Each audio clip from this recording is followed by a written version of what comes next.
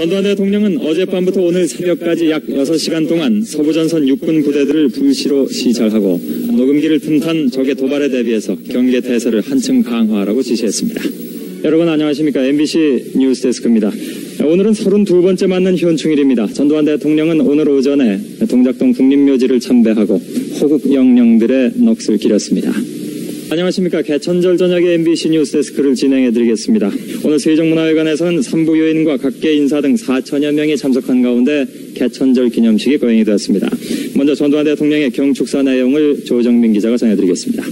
네, 여러분 안녕하십니까. 10월 17일 토요일에 MBC 뉴스데스크를 시작하겠습니다. 날짜를 기억하시는 분들이 꽤 계실 줄로 압니다. 1972년의 오늘은 바로 유신이 발표됐던 날입니다.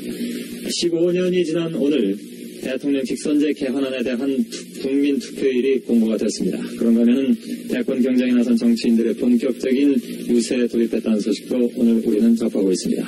대통령 선거는 앞으로 약 두 달 남짓이 남았습니다. 뉴스데스크 첫 소식 전해드리겠습니다. 전화 대통령은 오늘 대통령 직선제 개헌안 국민 투표일을 오는 27일로 공고했습니다. 오늘 청와대 임시 국무회의 소식을 조정민 기자가 전해드리겠습니다. 야, 씨.